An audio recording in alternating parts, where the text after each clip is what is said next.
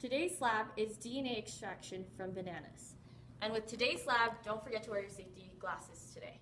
Okay, so first off, we picked bananas for this because bananas are 3N, which is triploid, and because they're triploid, they are loaded with DNA that we can extract. Okay, and today's we're using the Marmur preparation method that they use to get out DNA. Okay, so you're gonna start off with getting a piece of banana and you will mash it up. Uh, really good, mash it up. It will take a little bit to mash it up.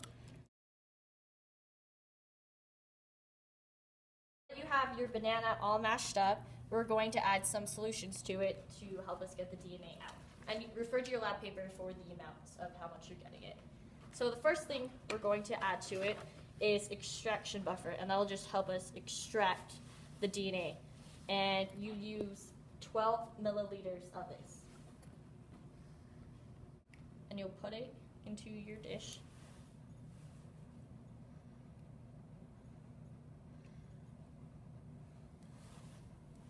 And then after you add the extraction buffer, you will add detergent.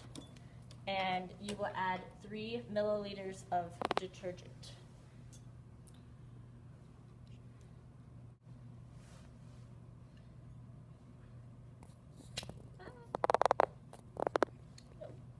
Okay, with your detergent solution, what this does is it breaks down the phospholipid bilayer. After we add the detergent, we will add meat tenderizer to it.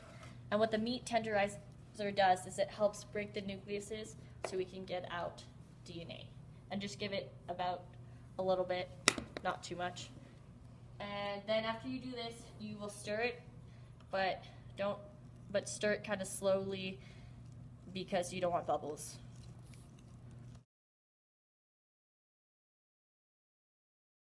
Now that you have stirred the banana and mixed it really well, it is time to extract the, some more steps to extract the DNA. And so what you're going to do is you're going to take a coffee filter and you're going to get it wet.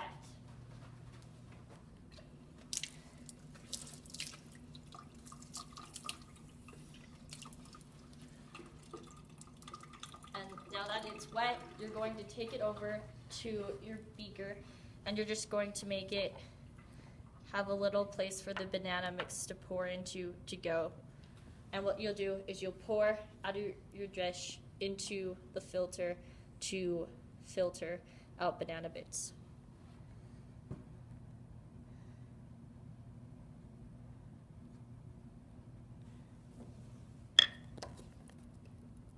Oh, and it will take about 10 minutes for it to drip, so be patient.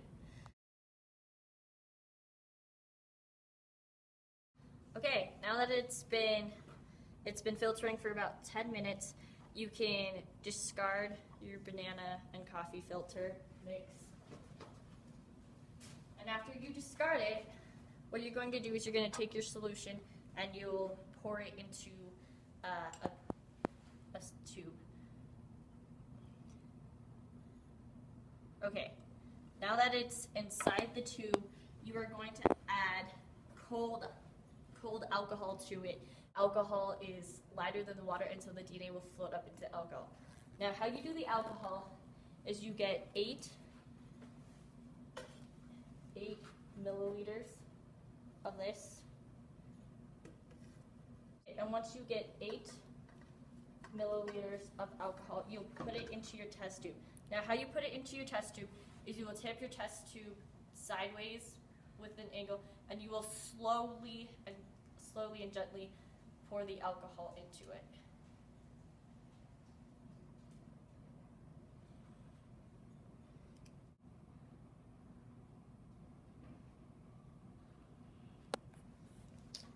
And then after your DNA sorts out and starts coming to the top, you will see real DNA. It will be real DNA you will see up in the alcohol layer. And once and once the DNA is all there, your teacher will teach you how to extract the DNA out of it and once you're all done with that, don't forget to do to do your lab write-up and answer the questions in the back of the lab.